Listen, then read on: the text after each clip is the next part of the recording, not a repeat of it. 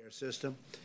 But during a global pandemic, they threatened to create a perfect storm that would spread the infection to our border agents, migrants, and to the public at large. Left unchecked, this would cripple our immigration system, overwhelm our healthcare system, and severely damage our national security. We're not going to let that happen.